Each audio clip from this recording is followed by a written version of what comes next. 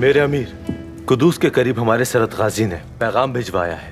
उस खून ही बर्नाट ने शादी की तैयारियाँ ज़ोर शोर से शुरू करवा दी हैं। वो विक्टोरिया से शादी करने तो आया था यहाँ।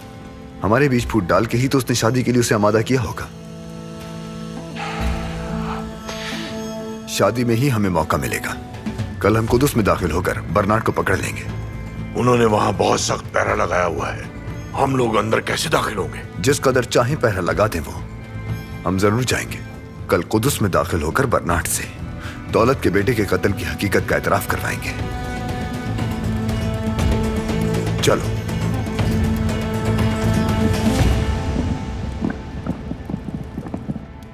कुतलो खातून ने मेरे आने पर पाबंदी लगा दी थी लेकिन मैं फिर भी चली आई।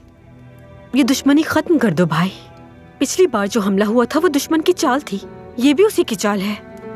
ये चाल किसकी है अच्छी तरह जानता हूँ आपा अब मेरी वापसी मुमकिन नहीं। फौज जंग के लिए तैयार है। कल जंगियों की जमीनों को मैं जहन्नम बना दूँगा एक। उससे इंतकाम लूँगा बेटे का। इस सानिह ने अक्ल होश छीन लिए हैं तुमसे। मेरी बात ही नहीं सुन रहे।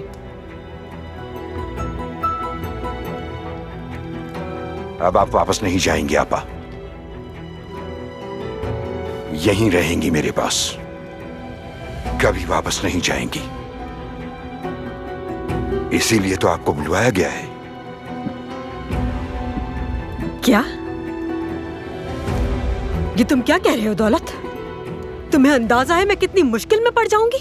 हर एक जंगी को मौत आएगी। ताज से तख्त तक उनकी हर शय खाक में मिल जाएगी।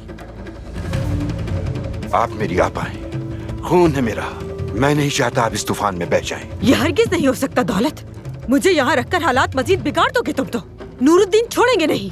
चाहे कुछ हो जाए, अब आपका उनसे कोई ताल्लुक नहीं। जिन्होंने हमारा खून बहाया है, कल उन कातिलीन का आखिरी दिन है बस। इसलिए अब आपको यहीं रहना आपा मेरे पास और होना भी यही चाहिए। मुहाफिजो, ख्याल रहे मलिक खातून खेमे से बाहर न निकले।